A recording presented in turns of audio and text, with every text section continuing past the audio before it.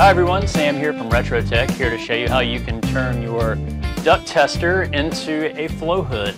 Uh, this way you can use your duct tester to do total system airflow in a house. So uh, in this video I'm going to demonstrate here on this return here upstairs in my bonus room how this can work out. There's several reasons why we want to look at total system airflow. Uh, looking at the total system airflow helps us determine if the system is moving the right amount of air as designed. Uh, plus, if we look at the total return flow compared to the total supply flow, the difference in that can be the total live duct leakage that we have in our system. So assuming you already have a duct tester, the only extra piece you'll need is this flow hood attachment from Retrotec, and this will work with both the Retrotec fan and it'll also work with the TEC duct blaster. So if you have that, uh, this will attach right onto that too. So ideally what you do, it's pretty simple.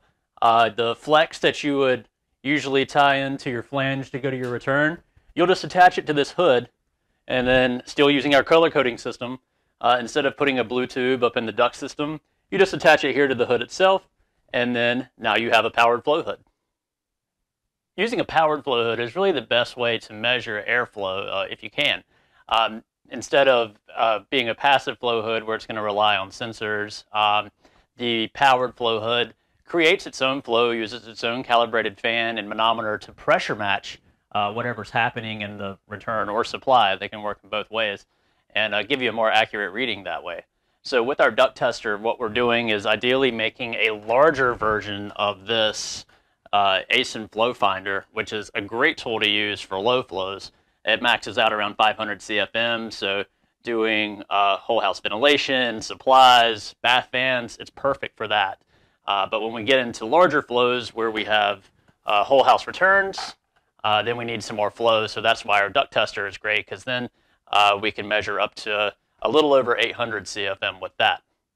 And on this hood itself, notice that it comes with a couple of handles. You can actually put uh, two extension poles on here if you need to to hold it up to flush to a ceiling. But uh, for this example today, we're just going to use this wall return. So as you can see, we have our duct tester flex uh, attached to the flow hood here, and then we put the blue tube to the blue port on the hood. And as for the fan and the manometer, we have everything else set up the same way we would to do a duct test. So with our manometer, we have our yellow to our yellow, green to our green, blue to our blue, just like we would any other time, uh, hooked up to the fan. And one thing that I'm going to do, since we're going to be testing a return with a higher flow, is I'm gonna go ahead and just open the fan all the way up. And so that way I can take that range plate off. And so we're going to hook up the flex here just like we have uh, hooked up to the outlet side of the fan since we're gonna measure a return. So now that we have our fan and our gauge set up, we can go ahead and put the hood over the return, get a good fit there, on this one, uh, the suction from the return actually helps hold the hood on there. And for me to pressure, uh, pressure match this system, it's actually easier to use the manual dial on the fan. So I'm actually going to unplug the data cable. And we can see that there's about a negative 54 Pascal pressure differential on channel A.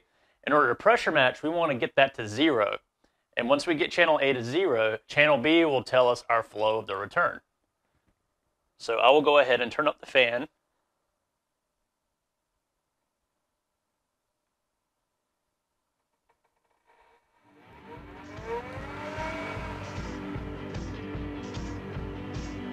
This allows me to get to that zero pressure a whole lot faster by manually turning it on.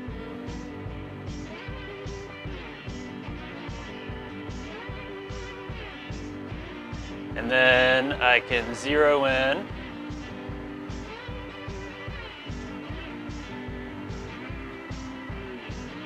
Right at zero Pascal, so I'm getting a flow of about 380, 390 CFM on this return.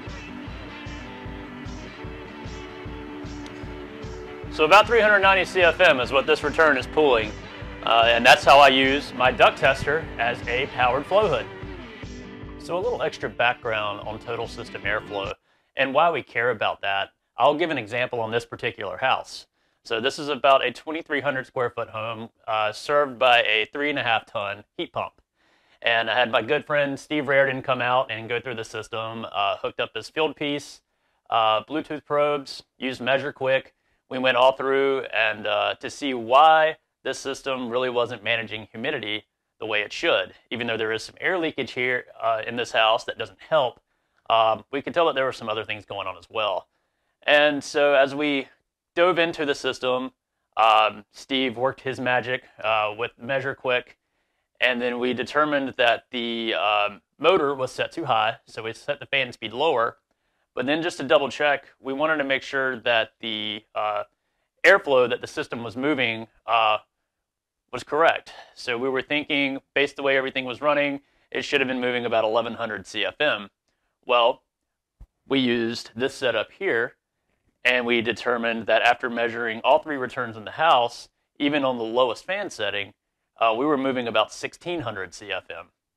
And then after diving a little more, it said, okay, something's up with the motor uh, in the air handler, and we determined that that motor was changed out with the wrong motor. So in order to have my system work correctly, I've got to change my motor out uh, to the correct size and uh, back from a PSC motor to an ECM motor that it's supposed to have. So um, by measuring total system airflow along with the other diagnostics that we did, uh, we were able to determine that that was the source of the problem. Well, that does it for our duct tester to flow hood conversion video. If you have any questions, reach out to us at sales at retrotec.com. Thanks for watching.